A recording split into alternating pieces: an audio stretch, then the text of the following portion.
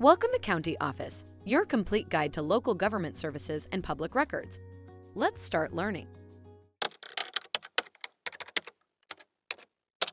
How to get a job at the EPA.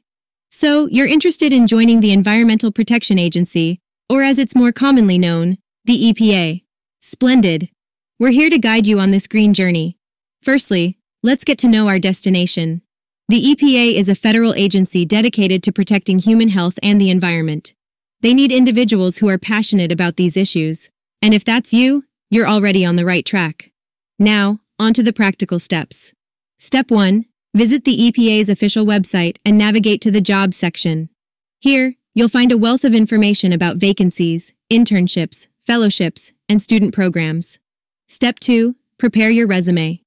The EPA loves seeing experience in environmental science, policy, law, and related fields. Don't forget to highlight any relevant skills, certifications, or degrees. Step 3. Apply. Keep an eye on the current jobs section on the EPA's website and apply for positions that match your qualifications and interests. The application process can be rigorous, so make sure you're ready to showcase your passion and dedication. And finally, step 4. Ace the interview. Remember, the EPA values individuals who are committed to their mission, so let your enthusiasm for environmental protection shine. Getting a job at the EPA might seem like a tall mountain to climb, but with the right preparation and a dash of determination, you'll be at the summit in no time.